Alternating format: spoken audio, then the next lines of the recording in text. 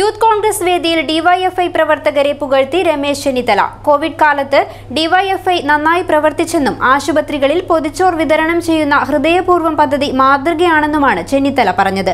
Kanhangad youth Congress ജില്ലാ പ്രതിനിധി സമ്മേളനം ഉദ്ഘാടനം ചെയ്യവെയായിരുന്നു ചെന്നിത്തലയുടെ പരാമർശം. Shri Shankaracharya computer centre Gulf Bazar near new bus stand Kasargod.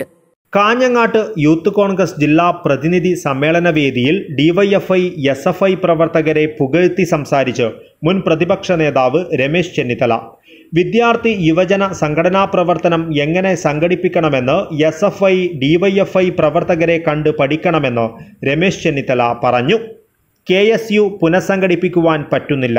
ക്യാമ്പസുകളിൽ കെ എസ് യു നിർജീവമാണ് ഡിവൈഎഫ്ഐ പ്രവർത്തകർ കോവിഡ് കാലത്ത് നടത്തിയ പ്രവർത്തനം ആശുപത്രി കേന്ദ്രീകരിച്ചുള്ള ഭക്ഷണപ്പൊതി വിതരണം എന്നിവ പൊതുസമൂഹത്തിൽ നല്ല സ്വീകാര്യതയുണ്ടാക്കി. കോവിഡ് കാലത്ത് യൂത്ത് കോൺഗ്രസിന്റെ യൂത്ത് കെയറിൽ കെയർ ഉണ്ടായില്ലെന്നും ചെന്നിത്തല പറഞ്ഞു. നമ്മളൊക്കെ യൂത്ത് കെയർ മാത്രമേ ഉണ്ടായില്ല. നമ്മൾ അതേസമയം അവിടെയൊക്കെ ഡിവൈഎസ്ഒക്കെ സജീവമായി അപ്പൊ- അങ്ങനെ കോവിഡ് കൂടെ ഈ ഗവൺമെന്റ് എന്ന് പറഞ്ഞാൽ കോവിഡിന്റെ സൃഷ്ടിയാണ്. അല്ലെങ്കിൽ നാല് ശതമാനം വോട്ട് രണ്ട് ശതമാനം വോട്ട് മാറിയാൽ നമ്മുടെ ഗവൺമെന്റാണ്. അപ്പോൾ ബി ജെ പിയുടെ സഹായത്തോടു കൂടി കോവിഡിന്റെ സഹായത്തോടു കൂടി അധികാരത്തിൽ വന്ന ഒരു ഗവൺമെന്റ് ആണ് ഇവിടെ ഉള്ളത്.